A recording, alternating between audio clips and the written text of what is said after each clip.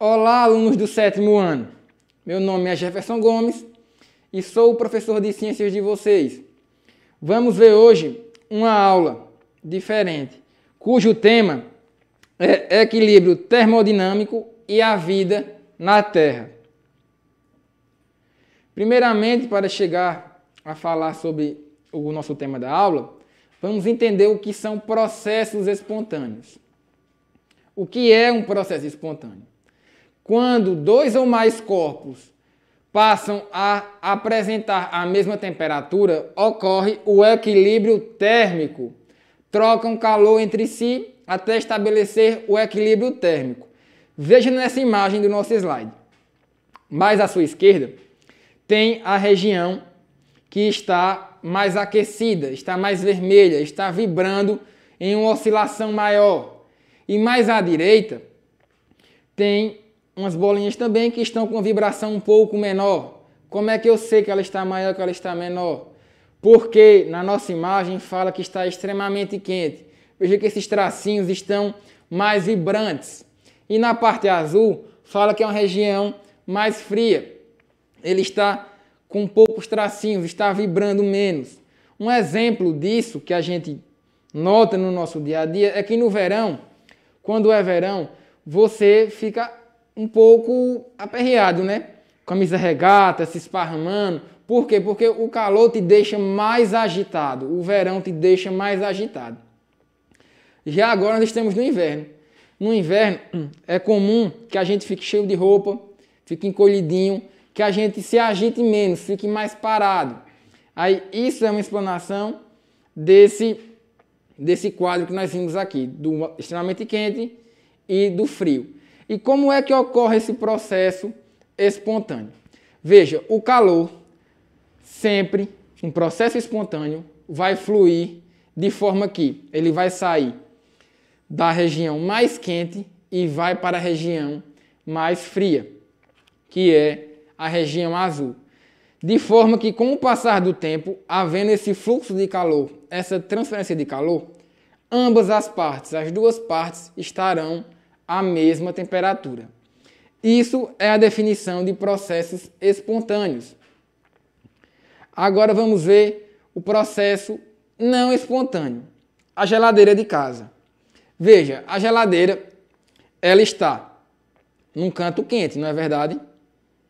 E como é que ela consegue refrigerar as coisas dentro dela? E no congelador ela fica com temperaturas abaixo de zero se a região que ela está fora está mais quente, está com temperatura mais elevada. Isso é um processo não espontâneo. Ela tem um compressor que vai expandir e comprimir o ar. Nesse processo de compressão e expansão, vai fazer com que diminua-se a temperatura dentro do interior da geladeira. E ele vai eliminar, vai jogar o calor da geladeira para a parte de fora, que é a fonte quente. Basicamente é isso, porque esse processo do, da geladeira se vê mais no ensino médio, com mais detalhes. Agora estou explicando só que é um processo de compressão e um processo de expansão do ar que tem no compressor. É basicamente isso. Aqui nós temos os sistemas térmicos. Veja, nessa primeira nessa primeira panela temos o que? Temos um fogo, uma boca de fogão, pipoca, óleo e a panela. Inicialmente foi colocado essas coisas aí no fogo, então ainda está com pouca agitação. Veja que a gente viu no, primeiro, no começo da aula. Com a temperatura elevada, ela fica bem agitada, a temperatura mais abaixo fica menos agitada. A temperatura aí não está tão elevada, por isso que ela está um pouco controlada. Na segunda imagem, nós vemos que já começou, com o passar do tempo, a se aquecer mais a panela. Veja que o óleo começou a entrar no processo de fritura e já deu uma agitada bem maior na panela. E nesse terceiro passo, essa terceira panela, nós vimos que a pipoca já entrou em outro estágio. Começou a estourar porque a temperatura elevou de tal forma a temperatura do óleo que o óleo conseguiu estourar as pipocas. Agora vamos ver os tipos de sistemas. O sistema aberto, há trocas de energia e de matéria. O sistema fechado, há trocas apenas de energia. Se você colocar é, duas coisas ou mais em um sistema fechado, ele vai haver apenas a troca de energia. O que é energia? O calor.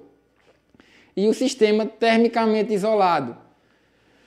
Não há troca de energia nem de matéria. Um exemplo, se você colocar dentro de uma garrafa térmica o café, ali é um sistema termicamente isolado. Não vai haver troca de energia nem de matéria com o ambiente externo. O café vai permanecer com aquela temperatura por muito tempo. Isso é um exemplo de sistema termicamente isolado. Equilíbrio termodinâmico e a vida, né? Para ocorrer a manutenção da vida, é preciso ter um fluxo de energia, ou seja, não haver um equilíbrio termodinâmico. A atmosfera terrestre é formada por gases estufa, que evitam que grande parte da radiação térmica deixe o planeta propagando-se para o espaço. Então veja, para que haja vida, seja das plantas, dos seres humanos, dos animais, não se pode ter o equilíbrio térmico. Já pensou se tudo tivesse uma temperatura só? Se tudo estivesse a 0 graus Celsius? Ou se tudo estivesse a 50 graus Celsius? Não teria como ter vida. Porque tem que ter uma diferença de temperatura para que exista vida no nosso universo, na nossa nosso planeta Terra. Agora, em linhas gerais, sistematizando o que eu falei, para ocorrer a manutenção da vida, é preciso haver um fluxo de energia. O que é energia? É o calor, né? O fluxo de calor que pode ser espontâneo ou não, como vimos nos slides anteriores. Existem sistemas físicos abertos, fechados e isolados. Os seres humanos assim como os outros seres vivos, possuem mecanismos de regulação de temperatura. Quando estamos com febre, né? O nosso corpo ele age para que a temperatura abaixe, entre outras coisas. Agora vamos entrar em outro tema, né? Sobre máquinas térmicas. Para que um corpo seja colocado em movimento, é necessário que haja energia para a realização dessa tarefa. Segundo, segundo o princípio de conversão de energia, a energia não pode ser criada e tampouco destruída, mas pode ser transformada ou transmitida de um corpo para o outro.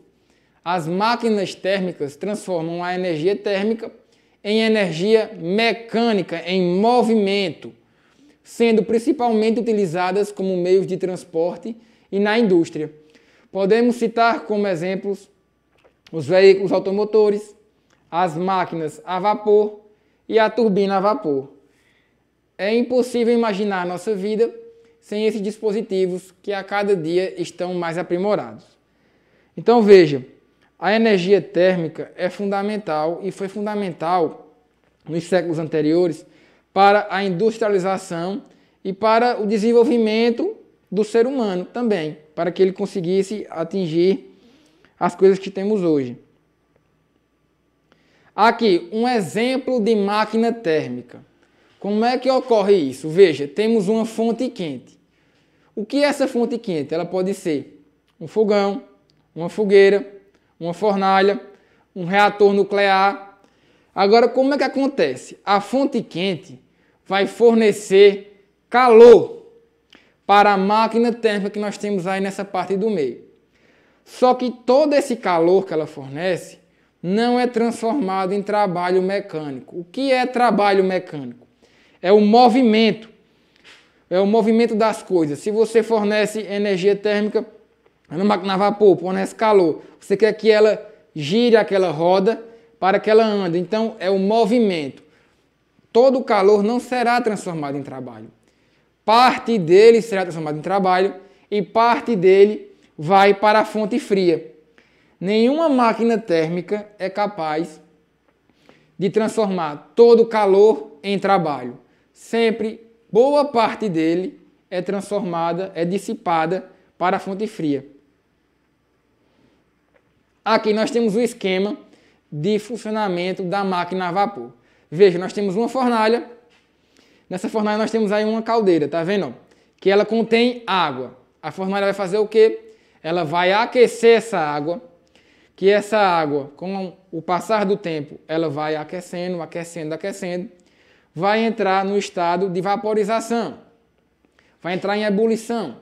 Esse vapor vai passar pela encanação, veja, passa pela encanação. Dessa encanação, ela passa por uma válvula, que é a válvula de entrada, que nessa válvula, nessa parte, tem um pistão. Esse pistão vai movimentar essa roda.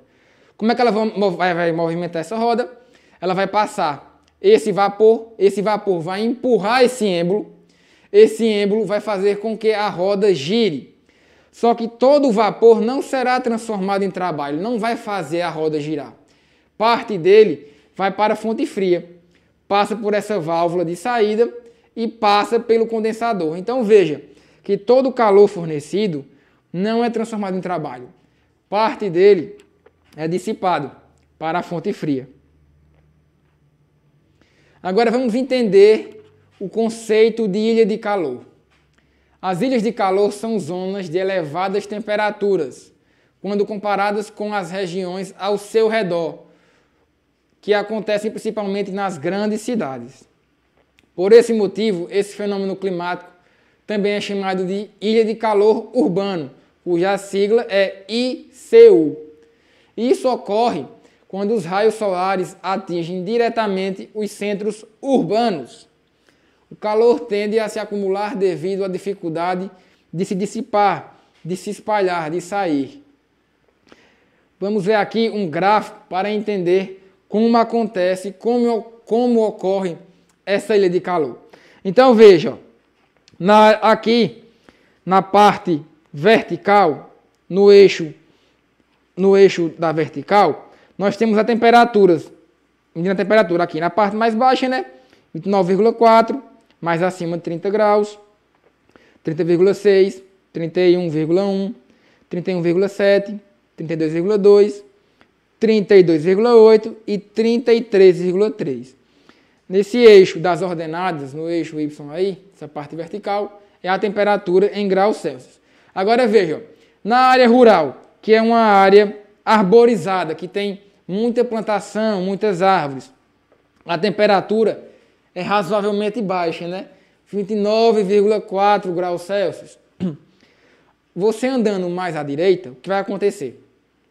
A área periférica, já a área mais da cidade, veja que ela está elevando um pouco a temperatura. Essa região vermelha, essa linha vermelha está subindo um pouco. Chega na área comercial, tem uma certa arborização mas não tem tanta quanto na área rural. Então a temperatura aumentou um pouco, aumentou mais, tá vendo?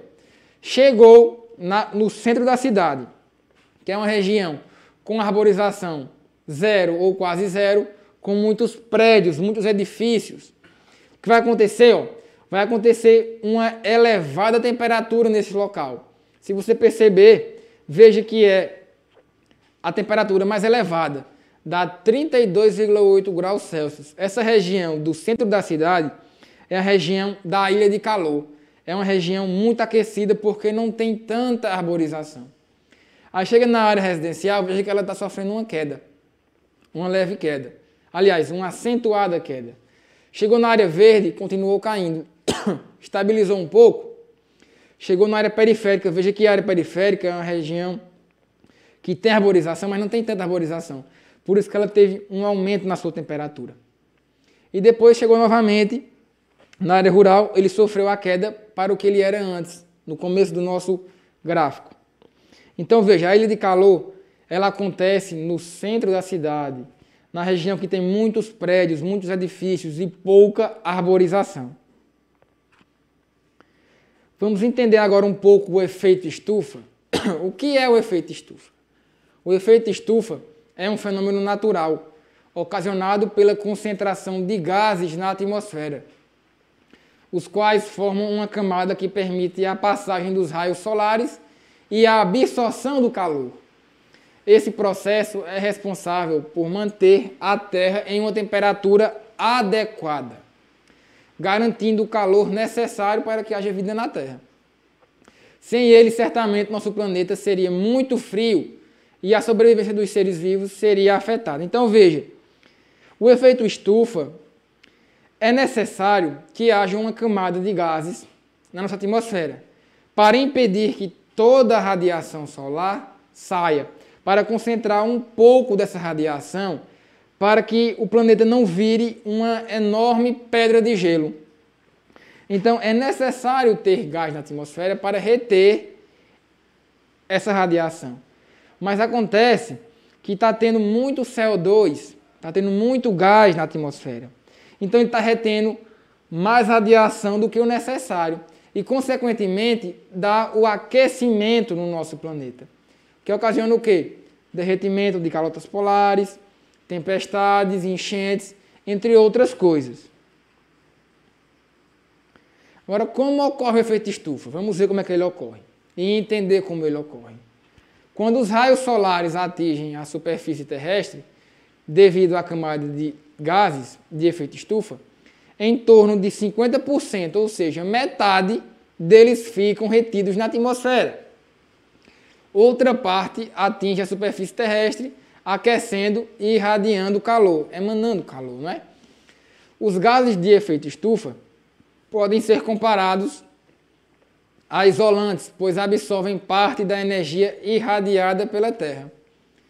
O que acontece é que ultimamente, nas últimas décadas, a liberação de gases de efeito estufa, em virtude de atividades humanas, aumentou consideravelmente. Como eu falei, esses gases estão em excesso na atmosfera. E isso ocasiona na retenção exagerada da radiação solar. Com esse acúmulo de gases, mais quantidade de calor está sendo retida na atmosfera. Resultado no aumento da temperatura, essa situação dá origem ao aquecimento global. Como eu falei no slide anterior, muito gás na atmosfera vai reter muita radiação solar e a radiação solar ela causa aquecimento e esse aquecimento vai causar danos para o planeta. Vejamos agora aqui nessa imagem como é que ocorre nesse esqueminha aqui, como é que ocorre a radiação solar, o aquecimento solar, tudo mais.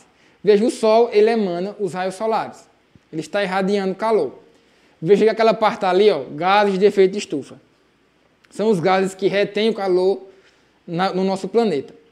Veja que parte deles atravessa, todo ele atravessa esses gases. Parte é refletida na Terra e sai, vai para o espaço, se perde no espaço. Mas grande parte dele está sendo retida. Está sendo retida para o aquecimento do planeta.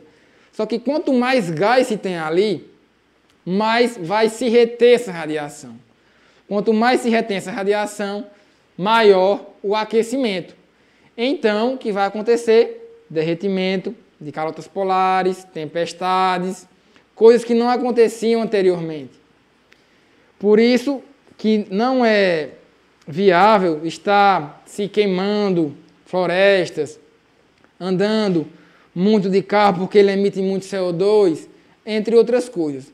Bom, pessoal, basicamente foi isso a nossa aula de hoje. Forte abraço e até a próxima.